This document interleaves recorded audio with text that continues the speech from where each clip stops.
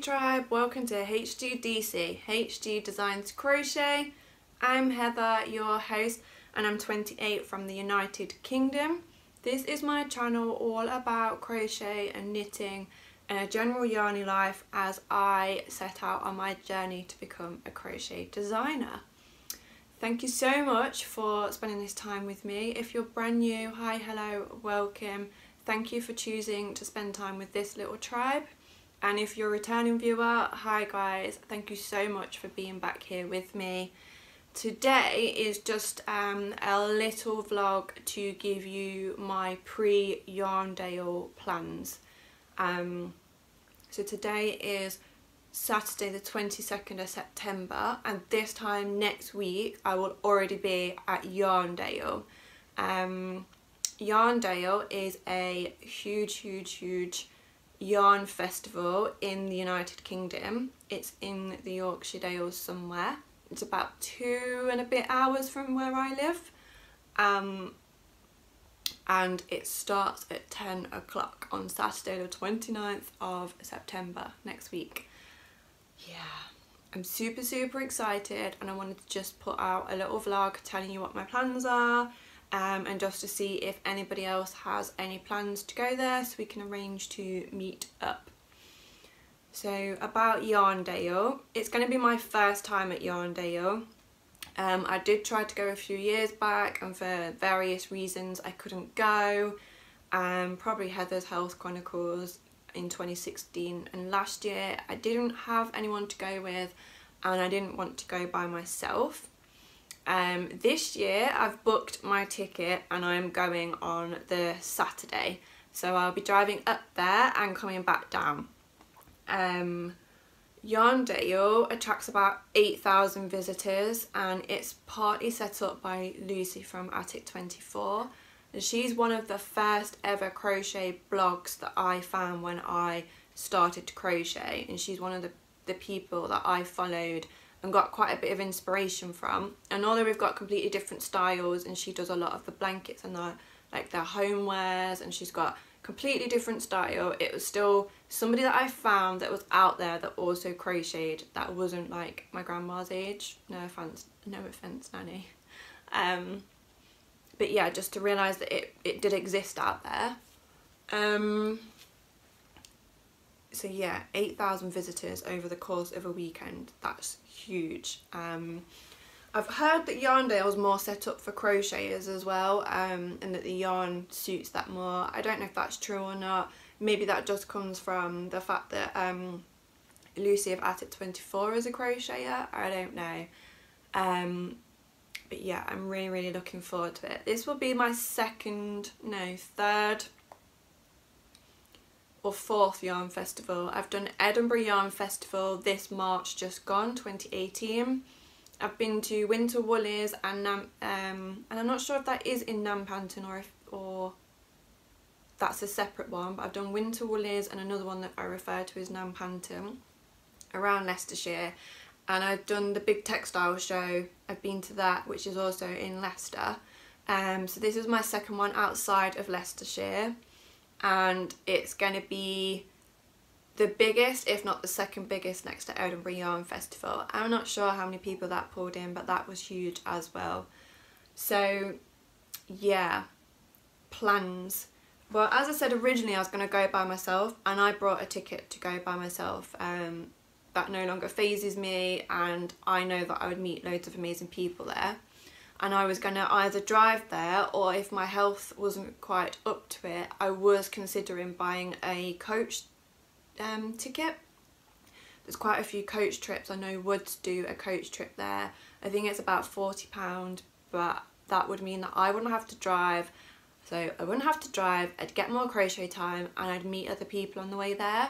Um, specifically from Leicester as well because the, you know, although I go to quite a few groups in and around Leicester, doesn't mean that I know all the knitters and crocheters out there. So I'm always looking to meet more people.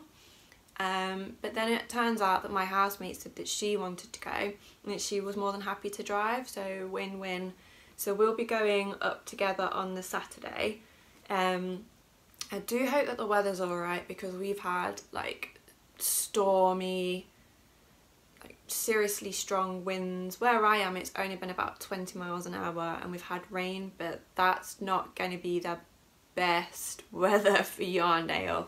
So fingers crossed for sort of a bit more sunshine. The weather forecast is saying it's going to be okay, but that could change.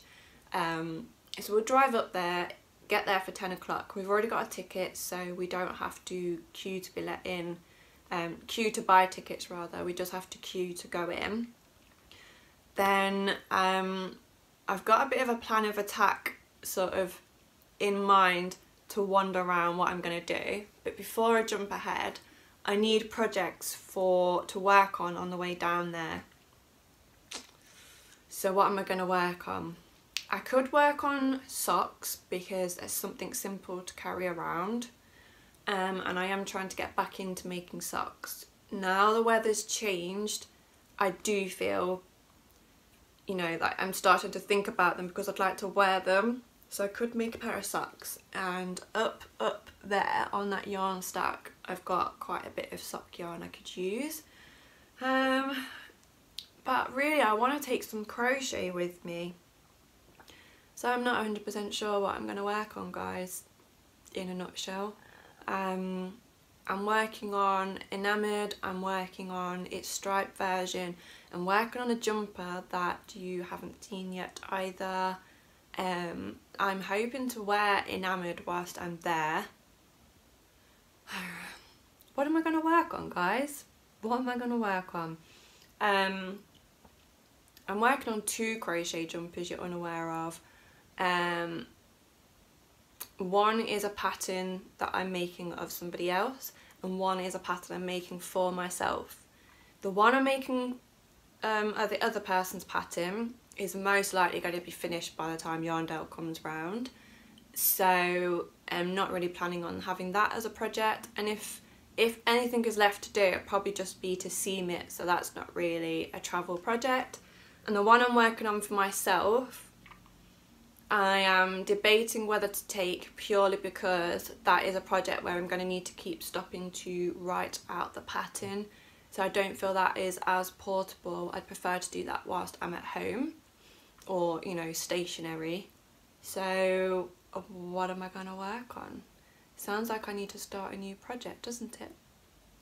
Um yeah. So I'm gonna have to really rack my brains because I want to take a crochet project. What am I gonna crochet? Um, I want something that's just like one ball of yarn realistically not multiple colours so I could take the striped crochet jumper that I swatched, but it's got four or five colours in. That's a lot of yarn to carry, plus the yarn I'll be buying. So that leads me back to knitting. Um, I've got a knitted jumper. I've just cast on the sleeves so I could take those. Um, I've got... What else am I knitting? That's it. I just feel like I need to start more projects and I'm going to use Yarndale as a reason to do that. So if you have any suggestions of projects that I could try or start, then put them below. I'm really interested in um, like crochet jumpers and cardigans at the moment. So if you've got any pattern suggestions for those, I want to try as many as possible because I get so much enjoyment from them and it's given me more and more experience to draw from to um, put my own patterns out there for you lot. Yeah. I don't feel like I'm really telling you much about my plans other than I'm going to use Yarndale as a real big reason to start maybe three or four projects, take them all with me and work on like this much of one. I did that at Edinburgh Yarn Festival. I took like three projects, bought enough yarn to make another three projects and then exclusively worked on one project which was a pair of socks and I think I got them finished. Did I? Or did I get past the heels and then they never got finished? Hmm. Anyway, I could take something granny squares um, but I've been making a lot of granny squares and the reason I've been making a lot is because I've started a little new yarn bomb, like a little yarn drop. Um, and what I'm doing is I've got all of these little squares, granny squares, on a bit of yarn onto my cards. Um, and on the back I've got, this one says spreading kindness and it's got the hashtag HGDC patch of happy and it says tag me and I have absolutely loads of these granny squares. If you go back to my blanket square vlog, no, my blanket stack vlog, you will see that I had a giant blanket made out of all of these that I took apart. They now live in this. So that's full of granny squares. And from that, I made my granny square jumper. I've got a few other projects that come that come to life from it. Um, and I was hoping to repurpose the majority of them. And I've now got this little idea um, to do a square drop. And the first time I did this square drop was at the Vegan Yarn Festival in Bingley, Birmingham, a few weekends ago in September. And I think I took about 12 of these and I dropped them off. And I actually have had a comment from somebody saying that they found one and it gives them a smile. So that's absolutely great. Um, and my reason behind it was is that my friend Isabel who's the underscore English underscore lady underscore spinner on Instagram and Facebook um, knits a few some hearts and then she drops them off and I decided to use these as I already have them and that's where the patch of happy came from because crochet is where I find a lot of happiness and I wanted to spread that around.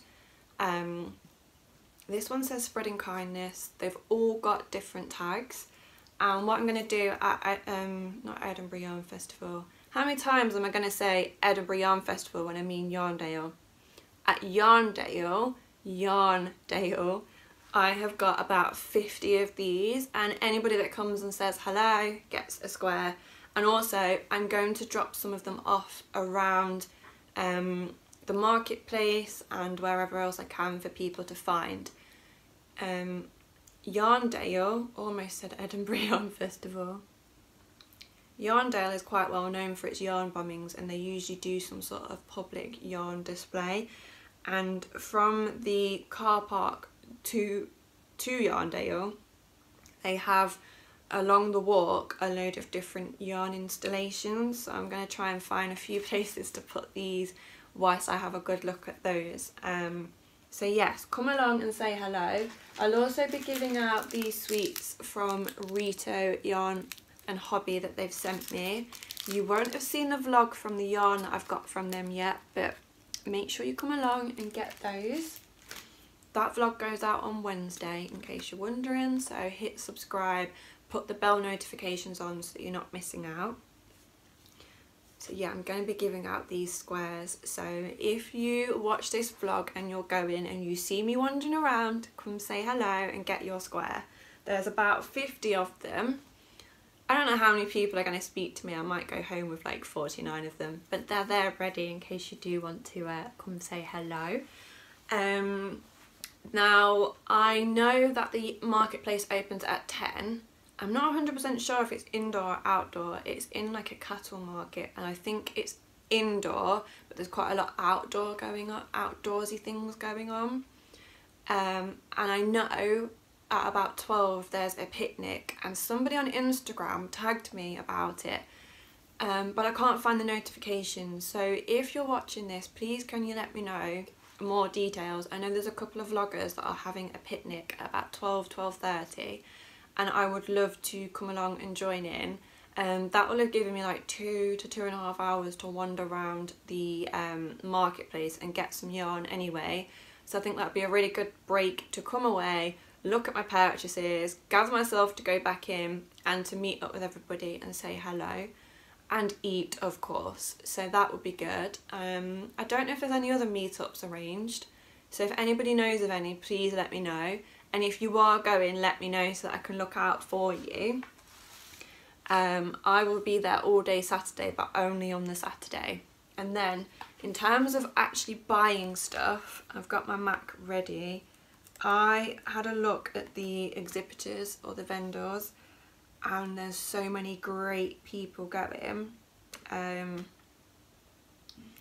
yeah, like I'm trying not to add too much because I've got all of this, I've got loads of yarn coming in, but I will get myself a little something. But I am really looking forward to going because at Edinburgh Yarn Festival I got to go around, I got to squish yarn, I got to see what it's like in person. And that was really really good because then going forward I know where I'd like to purchase from. So I want to do more of the same here. And I don't know how many exhibitors there are but is this going to actually focus? Can you see that? Not really, can you? Basically, I'm scrolling through the list. That mega list. There's loads of people that I recognise and there's loads of people that I want to go and check out and there's a lot that I don't recognise. So I recognise Truly Hooked, Vicki Brown Designs, I'll be visiting both of them. Toft, um, there's the the scrolling makes me feel slightly sick vertigo issues um I also recognise Spin City, they were at Edinburgh Yarn Festival. There's going to be um, Skipton's Embroiderers Guild, which I really like. Skipton is where it's being held, by the way. Sheepies, Rusty Ferret, I saw those at Edinburgh Yarn Festival, I'd love to get some. River Knits, I've had their yarn before, absolutely love it. Um, there's there's just so many, you've seen how, how extensive the list is. I have looked at the PDF which I plan on printing off which has got all the stands and the names and sort of working out like I'm going to put little hearts around who I must hit up um, yeah I'm just really looking forward to having a wander around seeing loads of different yarn. I am on a strict budget. I will only be getting myself a little something but I'm really looking forward to going and squishing a lot of yarn anyway. And I will also be getting myself some sort of Yarndale merchandise. So when I went to Edinburgh Yarn Festival, I got a little pin badge, which I can show you, because it's up here.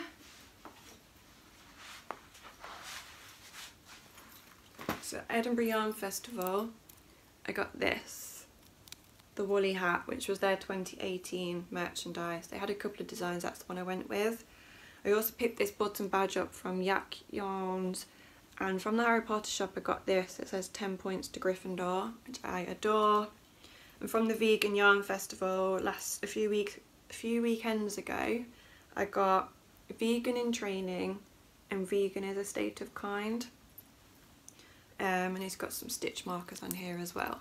So I want to get a Yarndale pin badge or badge to add to my little collection. I was so sure I wasn't going to do this whole enamel pin badge thing, but I am completely hooked on them. And I actually signed up to a random Kickstarter because it had a really nice pin badge. Oh, the neighbours are doing DIY. I swear, whenever I record, everyone's just like, let's make as much noise as possible. And then after that, it goes back to silence. But anyway, if you can hear that, just ignore them. So yes, I'm starting, I'm on this pin badge, badge hype and I want to get some HGDC tribe badges made up as well, which I'm going to add all over this. Um, so yes, I'm going to get myself some sort of merchandise from Edinburgh, from Yarndale. Uh, if anyone's keeping for Natalie, like maybe I need to put money in a swear jar for getting Yarndale and Edinburgh Yarn Festival mixed up. Um, yes, so I need to work out what I'm going to work on project wise. Um, I'm going to try and get myself a little mini skein of something to go with all of my colourful minis I've got up there. I don't know what they're going to become, but eventually they will become something. So I'd like to get just one more bright colour to go in there. Do you know which one is I mean?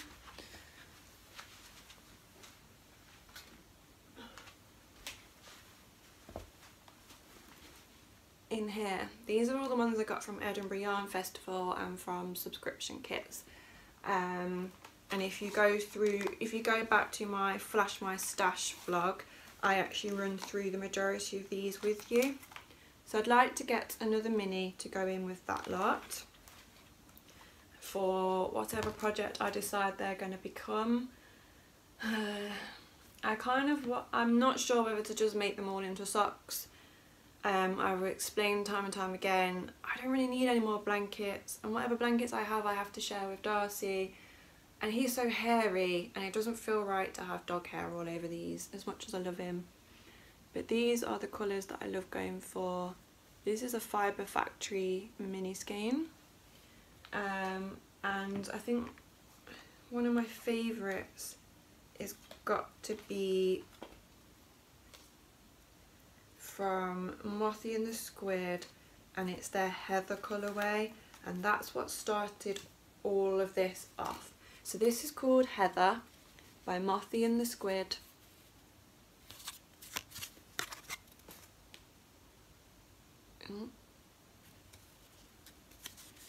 And when I went to Edinburgh Yarn Festival, this was on my list and I beelined for them to make sure I got one. And it was like one of two that were left. And from there I was like, well I've got to get loads of yarn to go with it. And this sort of all happened. Um, these are from sock subscription boxes that I made, but all of the rest of them colour coordinate. So I'd like to get another mini, I'd like to get a pin badge and I'd love to see as many of you lot as possible and hopefully get loads and loads of um, crochet or knitting done on the drive down there and back because that gives me almost five hours plus the time at the picnic. And if I take a crochet project or a simple knitting project as I walk I can crochet or knit.